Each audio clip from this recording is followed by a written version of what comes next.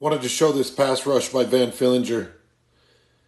Playing the left defensive end right here for Utah. He's going to widen his guy out. You see Van right here. He's going to widen his guy out by just a, a vertical lineup. That guy's got to slide deep to try to get out the Van's speed. And as Van comes deep, he's going to swipe those arms and dip right underneath. That's the kind of pressure that you got to get from Van Fillinger he's got to have some one-on-one pressures in this in when they get into Pac-12 play. And when I see stuff like that, it gives me hope that Van could be that constant pressure guy. That's a really good rush. I'll show you this backside.